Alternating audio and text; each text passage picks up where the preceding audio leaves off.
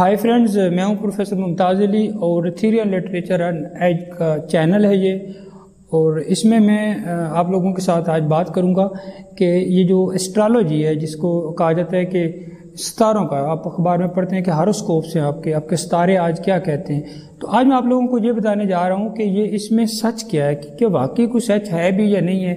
या ये सारा झूठ होता है? या कैसे ये लोगों को ये वो लिखते कैसे हैं? या इसका कुछ असर होता है या नहीं? अगर होता है तो कैसे होता है? अगर नहीं होता तो कैसे होता है?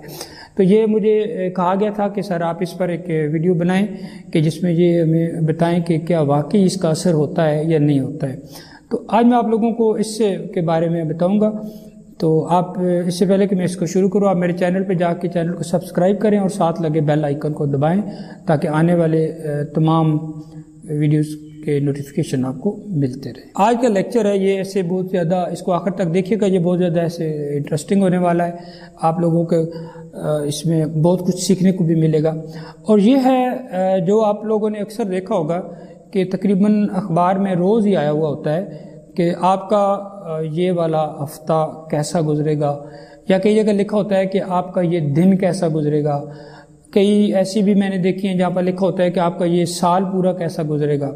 अच्छा वो लोग उनको पढ़ते भी हैं, जिनको यकीन है वो भी पढ़ते हैं, जिनको नहीं भी यकीन वो भी एक पढ़ते हैं, उनको देखते ज़रूर हैं। उस पर मुख्तलिफ़ तरह के जैसे उसमें मुख्तलिफ़ हर इंसान, उनको तकसीम इस तरह किया जाता है कि एरीज से वो स्टार्ट होते हैं। एरीज के बाद जेमिनी ल्यू सेगिटेरियस टॉरस विरगो और Capricorn Libra Aquarius Cancer Scorpion और ये पाइसिस ये सारे होते हैं। अब ये इनको सेट कैसे किया जाता है? ये तमाम लोगों की डेट ऑफ़ बर्थ के हवाले से इनको सेट किया जाता है। और इंसान जो है, ये आग, हवा, मट्टी और पानी का बना है, ये चार चीज़ें हैं, उनको भी साथ रखा जाता है, वो भी अनासर साथ रखे जाते हैं। और फिर ये डेट ऑफ़ बर्थ के हवाले से। और इसमें जो किया क्या जाता है, इसमें वो करते ये हैं कि लोगों को एक दिन का भी बता देते हैं कि आज आपका दिन कैसा गुजरेगा, एक हफ़्ते का भी बता देते हैं कि कैसा गुजरेगा। बस वो पूरे साल का भी बता देते हैं कि आपका साल कैसे गुजरेगा क्या क्या आएगा क्या क्या होगा, गलत होगा, सही होगा, जो भी है। और इसमें मुस्तकबिल के बारे में बहुत सारी चीज़ें बता देते हैं, मज़ाक के बारे में भी बता देते हैं। आपके साथ ऐसे होने वाला है, ऐसा होगा, ये सारी चीज़ें उनको बता देते हैं। तो इसको एस्ट्रोलॉजी कहते हैं, जिसमें ये होता है कि सितारों का आपकी शख्सियत पर असर क्या होता है, कि होता भी है या नहीं है। लेकिन ये जो एस्ट्रोलॉजी है वो, और याद रखिएगा, ये जो एस्ट्रोलॉजी है, ये बुनियादी तौर पर कोई प्योर साइंस नहीं है। इसके बारे में कोई भी ऐसी शवाहदात नहीं मिलते, ये प्योर साइंस हो। लेकिन वो जो आप वहाँ पर पढ़ते हैं, सारे आप जब मेरा आप लेक्चर सुन रहे हैं तो आपको अपने जहन में होगा कि आपने जो अपना पढ़ा है तो वो तो आपने पढ़ा है, आपने सुना भी होगा, आप देखते भी होंगे। तो अब मैं आपको बताता हूँ कि ये कैसे है कि इसमें हकीकत क्या है। अब जो स्टूडेंट जो साइंसदान हैं हार्डन साइंटिस्ट जो हैं, मीन जो सख्त, असल जो पक्के, फुल जो सही साइंसदान हैं, वो इस पर बिलीव नहीं करते। ये वो कहते हैं कि एस्ट्रोलॉजी डजेंट वर्क कि स्टारों का कोई असर नहीं होता। लेकिन जो बिलीवर्स हैं साइंटिस्ट हूँ जो दूसरे, वो कहते हैं कि इट वर्क्स अब फिर वो जब हम इस बात पर आ जाते हैं कि ये वर्क करती है तो फिर असल बात यह कि वर्क की डेफिनेशन ये क्या होती है? तो वो कहते हैं कि मुख्तलिफ़ सितारे जो आसमान पर हैं, सूरज भी उसके अलावा जो सितारे हैं, उसके साथ चक्कर लगा रहे हैं, उनके हवाले से कि मुख्तलिफ़ बंदे की पैदाइश के साल टाइम और जब वो पैदा होता है, उसके हवाले से कुछ जायचा बना के तो उसको रखा जाता है किसी एक खाने में जहाँ पर उससे रिलेटेड बाकी लोग भी होते हैं और ये पूरे बारह महीनों को तकसीम कर दिया जाता है कि यहाँ से लेकर यहाँ तक जो लोग दरमियान में पैदा हुए हैं, उनका ये है, एरीज है, जैसे उससे आगे वाले पैदा हुए हैं तो उनके ऐसे ये वाला आएगा तो ये किसी का लिब्रा आएगा, किसी का ल्यू आएगा, किसी का कैंसर आएगा तो वो उनको दे दिए जाते हैं। अब दो क्वेश्चन इस हवाले से मैं पहली बात तो ये है कि does the position of astrological bodies affect a personal life क्या एस्ट्रोलॉजिकल बॉडीज जो हैं, ये जो ऊपर सितारे हैं क्या इनका इंसान की जो ज़िंदगी है, इनका असर होता है? पहला ये सवाल है। और दूसरा ये सवाल है कि can horoscopes make people feel better क्या हारोस्कोप जो ये लोगों को इस तरह कर सकते हैं कि वो बेटर फील करें? अब हम पहले सवाल की तरफ़ चलते हैं। कि जो सितारों की पोजीशन है उनका एस्ट्रोलॉजी का असर होता है या नहीं? तो ये साइंटिस्ट कहते हैं कि नो ये नहीं होता। अब सूरज की जो मूवमेंट है उससे आपके मौसम बनते हैं। चाँद का मदो जजर है वो उसके लिए मुता, उसको मुतासर करेगा जो कोई काम करता है। जैसे कोई मछेरा है तो वो कश्ती चला के जाता है उनके लिए तो वो मसला होगा बाकी किसी के लिए नहीं। तो ये मौसम जो है ये सारे बनते हैं इससे पूरी जो जितने भी मौसम है ये तो ये जब मौसम चेंज होते हैं सूरज की वजह से तो ये जिस जिस तरह का मौसम होता है उसी तरह का इंसान की शख्सियत पर असर होता है, उनके कामों पर असर होता है, उनकी रूटीन पर असर होता है, उसकी सेहत पर असर होता है, लेकिन वो एक अलग चीज़ है, वो सिर्फ़ मौसम की हद तक है। लेकिन बिलीवर्स कहते हैं कि मौसम की हद तक नहीं, इनका आगे भी असर होता है इंसान की शख्सियत पर, उसकी लाइफ पर, उसके मुस्तबिल का उसके बारे में भी सारा कुछ पता चल जाता है। तो अब ये कैसे प्रूव हो कि ये होता है या नहीं? अब याद रखिएगा साइंस में चार तरह की फोर्सेज होते हैं, जिसको तोानाई कहते हैं। अब तोानाई जो है वो हमारे चारों तरफ़ तोानाई मौजूद है। अब इसमें सबसे पहले एक जो तोानाई है वो है, जिसको ग्रेविटेशनल फोर्स कहते हैं। कस्से शकल होती है। दूसरी होती है जिसको हम कहते हैं इलेक्ट्रोमैग्नेटिक ये भी एक फोर्स होती है। तीसरी आपके पास होती है स्ट्रांग न्यूक्लियर फोर्स होती है। चौथी है वीक न्यूक्लियर फोर्स तो कोई भी चीज़ जो इंसान को अफेक्ट करती है तो उसमें कोई एक फोर्स ज़रूर काम कर रही होती है। ग्रेविटी की काम कर रही होगी इलेक्ट्रोमैग्नेटिक फोर्स काम कर रही होगी, और स्ट्रांग न्यूक्लियर फोर्स काम कर रही होगी, या वीक न्यूक्लियर फोर्स काम कर रही थी। अब अगर, अब हम जैसे अगर आप ये करें कि ये जो आपके पास है ग्रेविटी फोर्स ऑफ़ ग्रेविटी है तो कोई भी, जैसे आप खड़े हैं तो कोई चट्टान ऊपर से गिरी, वो गिर के आप पर उसने आपको मार दिया, ख़त्म कर दिया, उसको आपने कुचल दिया।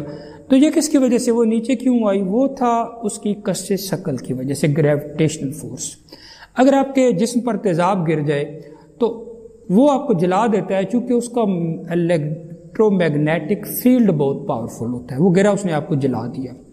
फिर जो एटम बम है, वो आपको टुकड़े टुकड़े कर देता है, जहाँ पर भी गिरता है, आपको भी कर देता है। वो उसकी स्ट्रांग न्यूक्लियर इफ़ेक्ट की वजह से होता है कि वो ये काम करता है। लेकिन अब जो साइंस है, वो ये कहती है कि जो जो फासला जो है, वो ज़्यादा होता जाता है तो ये जो फोर्सेस हैं, ये इनका असर कम होता जाता है। जैसे ग्रेविटेशनल फोर्स है तो जब दो चीज़ों के दरमियान फासला बहुत ज़्यादा हो जाएगा, ये फोर्स कम हो जाएगी। इसी तरह इलेक्ट्रोमैग्नेटिक फ़ील्ड की जो ताकत है, वो भी जब दूर होती है तो तो ये कम हो जाती है। इसी तरह न्यूक्लियर इफ़ेक्ट जो वो भी ऐसे हो जाता है। और जो जो न्यूक्लियर फोर्सेज हैं तो ये बड़ी जल्दी कहा जाता है कि न्यूक्लियर फोर्सेज यानी बड़ी जल्दी मरते हैं। That they are essentially zero beyond a few nanometres कि कुछ मीटर्स के बाद ये जो न्यूक्लियर फोर्सेज हैं, ये ज़ीरो तक पहुँच जाती हैं।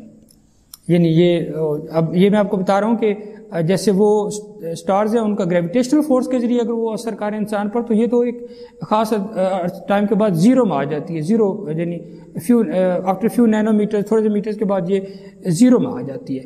फिर अगर हम इलेक्ट्रोमैग्नेटिक फोर्स की बात करें तो वो एक्सटेंड करती है नैनोमीटर से थोड़े किलोमीटर तक, और वहाँ जाके वो ख़त्म हो जाती है। और फिर ये जो आपके पास है ये जो ग्रेविटेशनल फोर्स है।